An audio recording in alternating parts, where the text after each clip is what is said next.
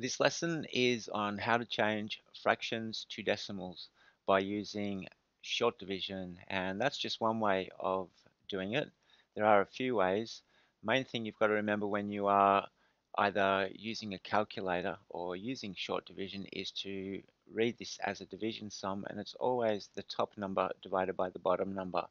So if you were to use your calculator to change one quarter into a decimal you would just go 1 divided by 4 equals. So it's always top number divided by bottom number. So that's the quick way by using a calculator.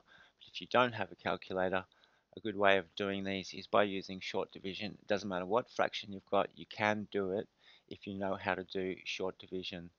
So when you set up the short division, it's always the bottom number goes on the outside and the other number, the top number goes on the inside like that.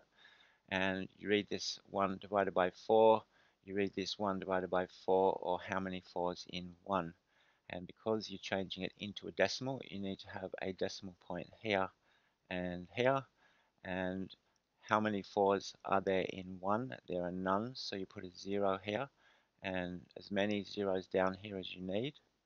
And because you haven't used that one, you carry it to, to in front of the next number. So then that looks like a 10 and you go how many 4s in 10? The answer is 2 and there's 2 left over and then how many 4s in 20? There's 5. So 1 quarter is equal to 0.25. So that's the decimal for 1 quarter. Okay, example 2. Now you can also do it when the top number is bigger than the bottom number like this. It's still the top number divided by the bottom number. So again, setting up a short division, bottom number on the outside, other number on the inside or the top number on the inside, put a point here and as many zeros as you might need. And then make sure you put a point above this point. And then how many twos in seven?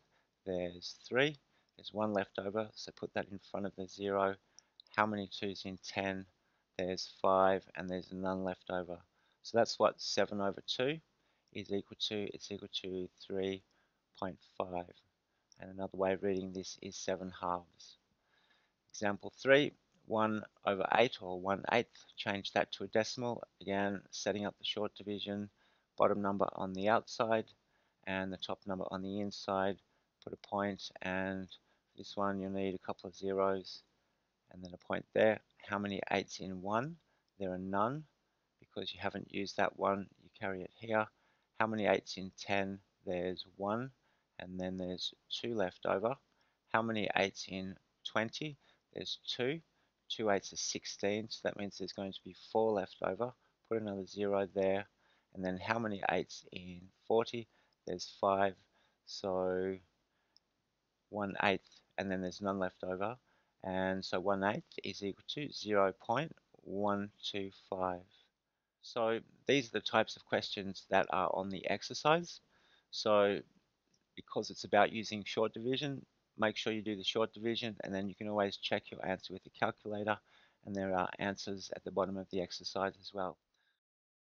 So that's it for this lesson and I'll see you in the next one.